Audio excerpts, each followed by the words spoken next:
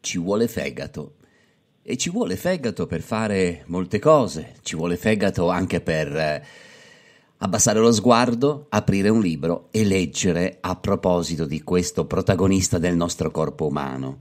Ma più che voler fegato a leggere questo libro ci vuole curiosità perché è una curiosità importante, perché questo libro che stiamo per raccontare insieme con il eh, suo autore è un libro che racconta nella semplicità e nella profondità, senza usare ovviamente argomenti tecnici perché è comunque per tutti quanti, ci fa conoscere meglio questo protagonista che troviamo dentro di noi, l'organo chiave per il benessere dell'intero organismo, niente meno.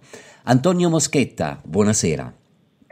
Sì, buonasera, buonasera a voi. E benvenuto, benvenuto qui nel posto delle parole per raccontare di questo suo nuovo libro. Ricordo ai nostri ascoltatori che Antonio Moschetta è medico, professore ordinario di medicina interna all'Università Aldo Moro di Bari e dottore di ricerca in epatologia all'Università di Utrecht. È stato tra l'altro allievo del premio Nobel Al Gilman presso lo Howard Hughes Medical Institute di Dallas ed è titolare del progetto di ricerca sulla ricerca sul cancro, sul metabolismo dei tumori tumori e la regolazione genica. Autore di numerose pubblicazioni, ha ricevuto riconoscimenti internazionali come il Richard Weissman Award a Chicago, il Rising Star in epatologia a Vienna, il David Williams Award a Vail in Colorado e l'European Lipid Award a Göteborg. Eh, devo dire che il suo palmarès è, è, molto ricco, Antonio Moschetta, ma è un palmarès che è stato costruito sul, sul, sullo studio e, e, sulla, e, sul, e, sul, lavoro di ogni giorno in, in sala chirurgica. Ecco, come mai ha pensato di dedicare questo saggio che si sviluppa per circa 140 pagine a questo signor fegato che abbiamo dentro? Guardi, questa è una bella domanda. Io mm, ho iniziato, ho lavorato diversi mesi, devo dirle, nel, in questa creazione perché io sono molto critico con me stesso e ho deciso di puntare eh, a raccontare la storia di questo organo che poi è un organo che è stato con me durante tutta la mia formazione perché un po' noi siamo ecco, dei passionali e io mi occupo proprio di fegato, come metabolismo, come regolazione di tutti quegli eventi che questo organo governa. Per cui, se vogliamo, ho semplicemente seguito il mio cuore e associato all'esperienza di tutti questi anni. Ma lei, ma mi, scusi, quello... mi scusi Antonio Moschetta, ma lei come, come da studente poi eh, nella professione, come si è avvicinato allo studio del fegato? Che cosa l'ha affascinato di questa parte del corpo? Le devo dire che in realtà mi sono ritrovato da subito a studiare il fegato. La mia tesi di laurea in medicina è stata proprio sul fegato e sulle vie biliari e subito dopo io sono stato ad Utrecht in Olanda per tre anni a lavorare interamente su come questo organo interagiva nei momenti del digiuno, nei momenti postprandiali, con tutti i nutrienti, come li impacchettava, come li mandava in giro. Sa, mi faccio dire questa cosa uh, interessante. Questi erano gli anni precedenti al sequenziamento del DNA, che è arrivato nel 2003 nella sua forma completa con il genoma umano. Bene, quando si è completamente sequenziato il DNA, io ho continuato a restare eh, sul campo epatico, questa volta studiando come questi nutrienti e questi ormoni potessero interagire col DNA e accendere e spegnere i nostri geni. Io penso davvero che il fegato sia il pater familias del nostro corpo. Lui è già maturo appena noi nasciamo. Noi siamo bambini, siamo neonati e lui è già grande, è già maturo, è già differenziato, è già pronto a fare da padre perché una delle sue principali attività è quella proprio di stemperare i nostri errori nutrizionali, le tossicità, i composti chimici, l'alcol. E qui è un organo veramente interessante. È un organo che, che, ne deve sopportare parecchie ed è un organo che fa di tutto per perdonare i nostri eccessi, almeno quello che io ho compreso tra le altre cose leggendo questo libro. Quest, il fegato fa di tutto per perdonare eh, i nostri problemi, i nostri vizi, l'alcol, ha già citato lei e così via. Però lei comincia, Antonio Moschetta, questo suo libro intitolato Ci vuole fegato narrando di un mito che un fanciullo divino di nome Tages, emerso improvvisamente dalla terra arata da un contadino etrusco, Tarconte, diffuse in Etruria l'arte della divinazione e dell'interpretazione del volere degli dei. Gli Etruschi avrebbero imparato così la pratica della ruspicina, il rito basato sull'estrazione delle viscere delle vittime animali, specialmente montoni, e sull'osservazione del loro colore e della loro conformazione per decifrare le indicazioni degli dei riguardo al futuro. Ora, lei parte da molto lontano, parte da queste considerazioni che contengono già in sé e per sé qualche cosa di medicina, nonostante tutto, nonostante quello che possiamo pensare. Sì, è così. Uh, mi sono divertito a rivedere la letteratura e la storia che è molto ricca di aneddoti e di risorse su questo organo. Uno è questo degli aruspici, perché poi ehm, gli aruspici avevano un modello bronzeo del fegato e controllavano cicatrici e anomalie e decifravano il volere degli dei. Una cosa che poi i romani in qualche modo hanno continuato questa tipologia di pratica e la utilizzavano per, prima di intraprendere delle imprese militari proprio quasi eh, per prevenire la, la, la riuscita di una vittoria. Ora, perché io cito questa letteratura? Perché in realtà il fegato è proprio un organo che riesce a dirci in anticipo se saremo in una condizione di equilibrio o meno dal punto di vista metabolico. Pensi un po', se una donna ha il fegato ingrassato, cioè ha fegato grasso, in età fertile, perde quella protezione classica ormonale che la donna ha rispetto all'uomo dal punto di vista cardiovascolare. Perché le dico questo? Perché in fondo gli arustici dicevano proprio questo. Io faccio un'ecografia, trovo un fegato grasso in questa donna e che cosa dico? Dico attenzione signora, lei probabilmente è in uno stato di disequilibrio nel rapporto con l'energia del cibo piuttosto che con l'energia del, dell'esercizio fisico e questo disequilibrio si traduce nel deposito di grasso nel fegato che è il primo modo per dirci non che c'è una malattia, ma che questo disequilibrio riuscirà a predire la perdita della protezione cardiovascolare classica della donna fertile. Non so se l'ho confusa, ma è bellissimo utilizzare questo fegato, che è un organo che sta lì a metabolizzare tutto, addirittura anche come un segnale di disequilibrio metabolico. È quello che dicevano gli arustici.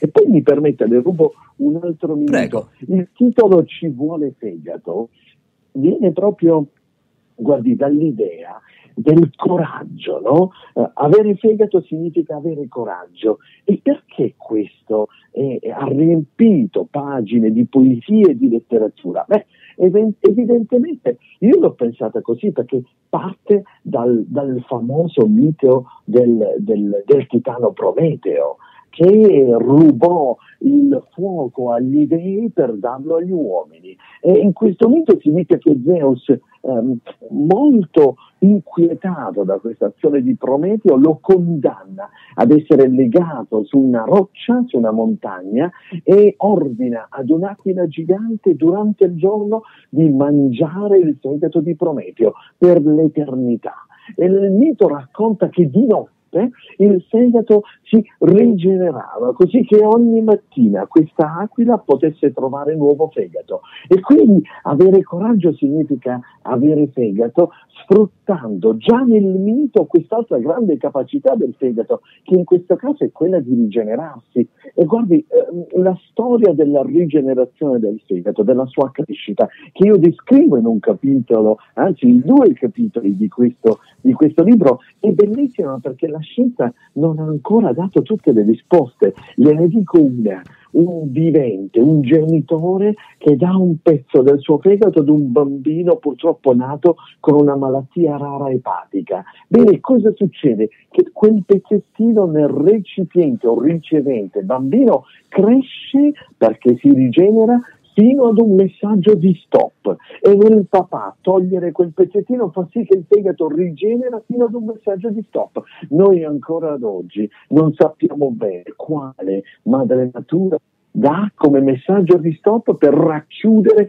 in quel volume, in quella grandezza il fegato. Vede come un mito noto sin dall'antichità diventa realtà e ci lascia ancora così in attesa di risposte scientifiche. Il fegato è un organo eccezionale. Mi scusi se mi vede passionale, ma questi sei mesi che mi hanno portato a scrivere questo libro, nonostante io pensavo di essere arrivato in profondità, in realtà mi hanno fatto capire che io ero fin troppo riduzionista. Avevo studiato il gene, la mutazione, la piccola funzione, ma non avevo guardato il tutto. Bene, eh, riavvolgere il nastro, o meglio, eh, diminuire la magnificazione al microscopio e guardare il tutto mi ha reso quest'organo ancora più interessante. Riprendo l'immagine del riavvolgere il nastro, Antonio Moschetta. Qui noi ci chiamiamo il posto delle parole e nelle parole amiamo inciampare perché solo quando ti inciampi ti accorgi.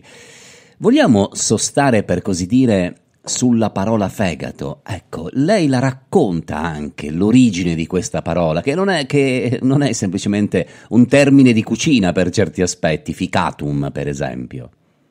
Sì, insomma, con molta probabilità l'origine della parola fegato è un'origine particolare, deriva dal latino iecur ficatum, ossia il fegato con i fichi. E questo perché in realtà è un curioso richiamo gastronomico, perché gli antichi greci prima, i romani poi, usavano ingrassare alcuni animali nutrendoli con cospicue quantità di fichi e anche perché erano soliti preparare ricette a base di fegato e fichi.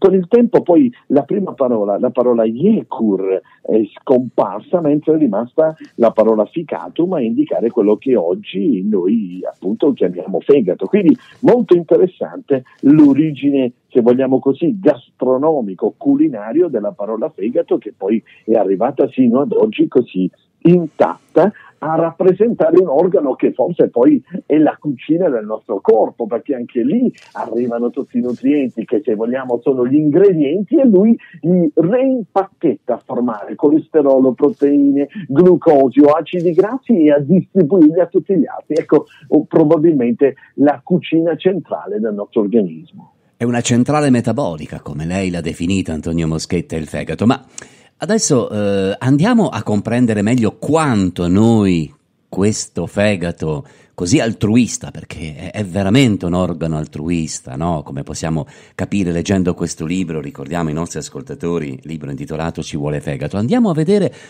come noi lo maltrattiamo e come lui ci sopporta e come lui ci aiuta. Ecco, in che modo noi soprattutto lo maltrattiamo il fegato, Antonio Moschetta?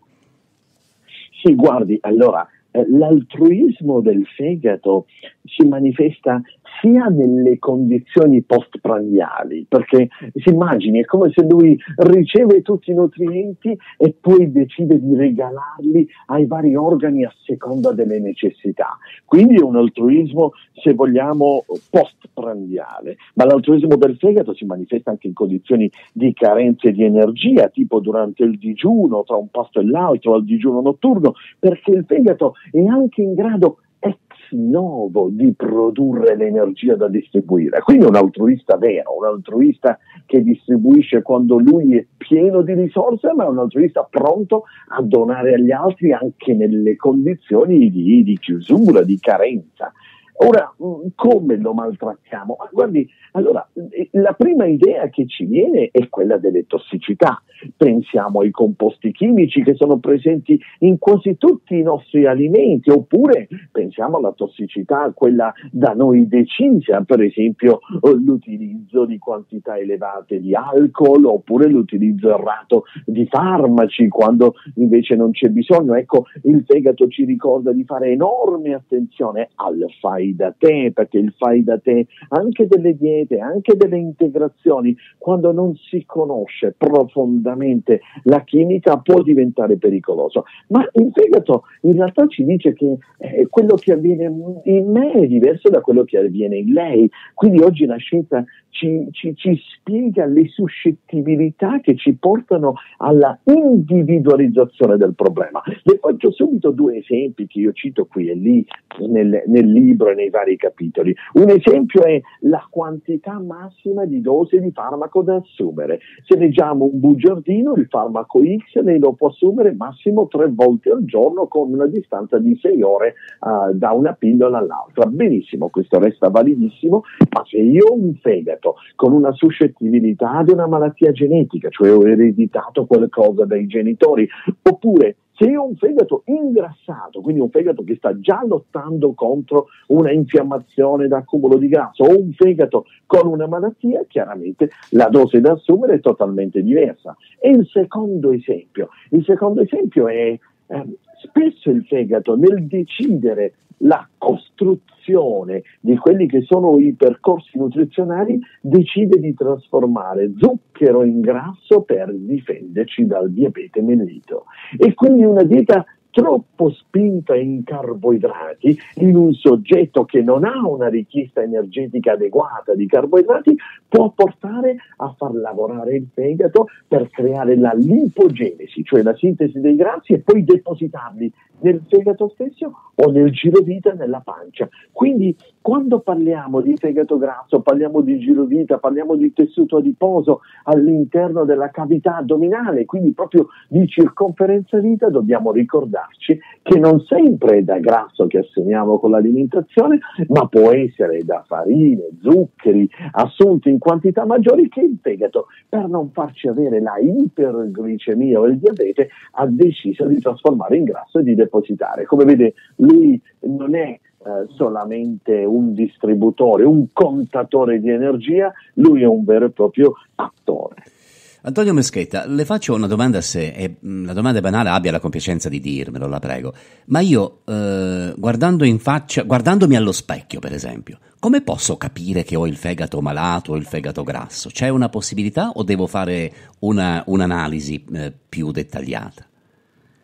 Guardi, questa è veramente una bella domanda. Lei mi ha chiesto un commento e glielo do. Ehm, il fegato se escludessimo le vie biliari, la colicisti, sono delle strade che possono evocare dolore, come io cito quando spiego i calcoli della colicisti, i calcoli del coledo, in realtà le malattie del fegato non danno di solito dei sintomi, non danno dolore. Il fegato non è un organo che evoca dolore. Quindi che cosa le voglio dire? La sua domanda è interessante perché il fegato è in realtà eh, una cartina cartina di tornasole del nostro stato di salute, cioè è lui che ci dice se siamo in regola o no. Quindi io guardandomi allo specchio, tranne che nei casi gravi, quando divento giallo, quando ho problemi alle vie biliari con la bilirubina, nei casi che a noi interessa diagnosticare perché noi vogliamo arrivare prima, probabilmente non abbiamo nessun sintomo se non un po' di astenia. Quindi cosa bisogna fare?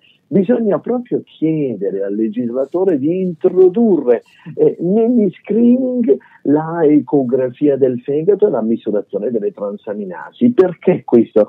Perché, le ripeto, avere fegato grasso significa essere in una condizione di disequilibrio. E poi mi permetto di rubarle un attimo, la scienza non ha ancora dato una risposta fondamentale, una percentuale di cospicua di soggetti che hanno il fegato grasso ad un certo punto hanno la epatite da grasso, cioè questo grasso induce in loro una infiammazione esattamente come quella dei virus, esattamente come quella dell'alcol e questa epatite da grasso è la malattia del presente, è la causa del numero più alto dei trapianti di fegato oggi e non solo, è una condizione predisponente al tumore del fegato. E allora perché studiarlo? Perché chiedere al legislatore di vedere sempre di più la possibilità di studiare con un'ecografia il fegato?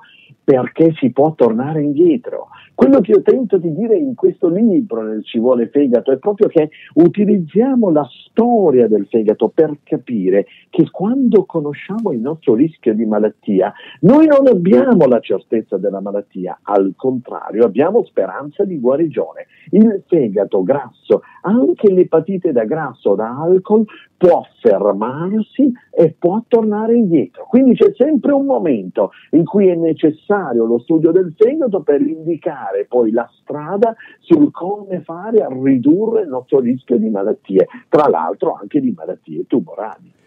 E questo è molto molto importante perché quando ci sono le malattie tumorali tutto ha un'altra, tutto un'altra, un altro registro ai noi, anche e soprattutto dal punto di vista medico e non solo umano.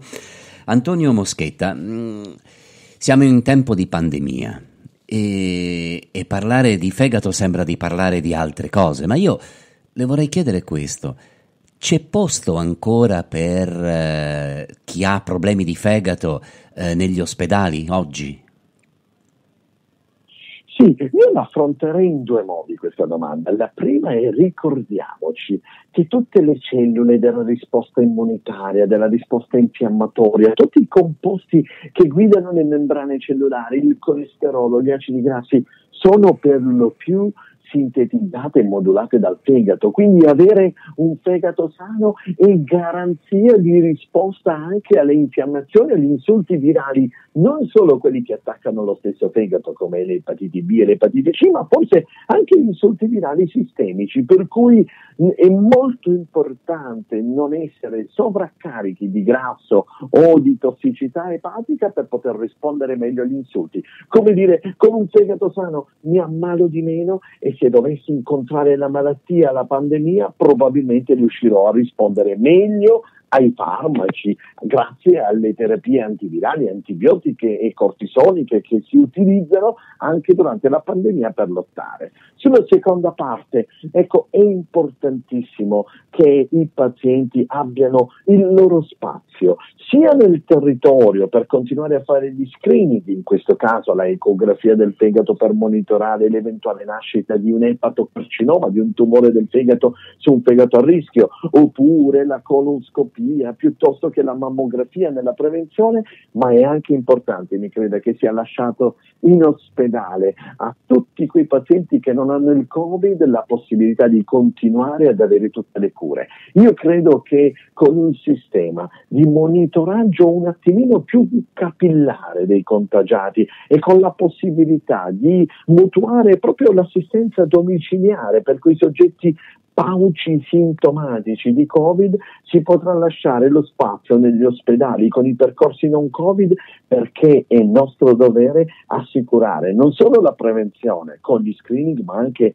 la terapia e la cura a tutti quei pazienti oncologici e cardiovascolari nell'ambito della qualità dell'assistenza e dei percorsi di sicurezza. Ci vuole fegato è il libro che abbiamo raccontato insieme col suo autore Antonio Moschetta, pubblicato da Mondadori, l'organo chiave per il benessere dell'intero organismo. Prima di salutarci, però, Antonio Moschetta, qual è, qual è il libro che le fa compagnia in questi giorni?